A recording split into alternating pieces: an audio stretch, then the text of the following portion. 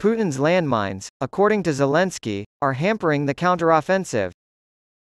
Ukraine's president, Volodymyr Zelensky, has admitted that the country's counteroffensive against Russia's forces is slower than desired, blaming the deadly minefields laid by Vladimir Putin's troops.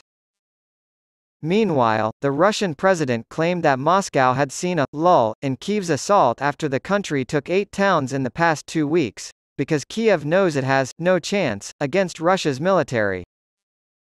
Britain's Ministry of Defense said that despite Mr. Putin's comments, his generals appear to be worried about Kiev's ability to strike directly in Crimea, as they have built elaborate defenses near the occupied peninsula. Two Russian fighter jets were spotted flying close to Estonian NATO airspace, prompting the Royal Air Force to dispatch interceptors. The jets failed to comply with international norms by not liaising with regional airspace control, according to officials.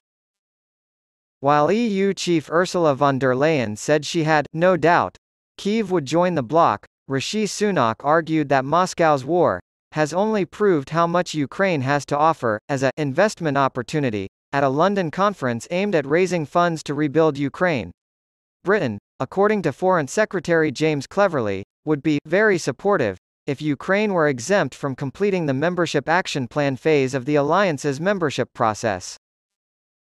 We have seen Ukraine evolve, and evolve incredibly quickly, he said at a press conference at the Ukraine Recovery Conference in London. At the NATO Informal Foreign Ministers Summit, Jens Stoltenberg stated that many of the Membership Action Plan requirements are being met. Even as they are at war, they are working to modernize their military. Since the offer to Sweden and Finland didn't necessitate a membership action plan and the Ukrainians have shown their commitment to reforming the military for requirement of NATO membership through their actions on the battlefield, I believe the UK's position would be very, very supportive if we moved on from the membership action plan. I believe all NATO members would agree with that statement.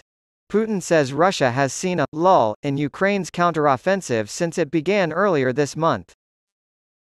The Russian president made the claim in televised remarks, claiming that Ukraine has no chance despite its offensive potential. Ukrainian President Volodymyr Zelensky has stated that while the country's counteroffensive against Russian forces is progressing slower than desired, Kyiv will not be pressured into speeding it up as its troops advance through dangerous minefields. There are those who think this is a movie and demand instant gratification. He later told the BBC that it wasn't the case after giving a remote presentation at a London event.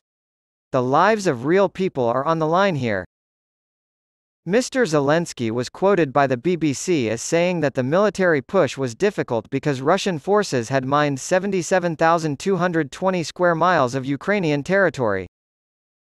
Whatever some might want, including attempts to pressure us, with all due respect, we will advance on the battlefield the way we deem best, he continued. In his speech to graduating cadets at Russia's military academies today, Defense Minister Sergei Shoigu claimed that the collective West is waging a real war against Russia. Mr. Shoigu added that the Russian military would do whatever it took to protect the country as he appeared alongside Vladimir Putin at a Kremlin event. Russian President Vladimir Putin has stated that the latest generation of Russia's Sarmat intercontinental ballistic missiles, which can carry 10 or more nuclear warheads, will soon be put into active service.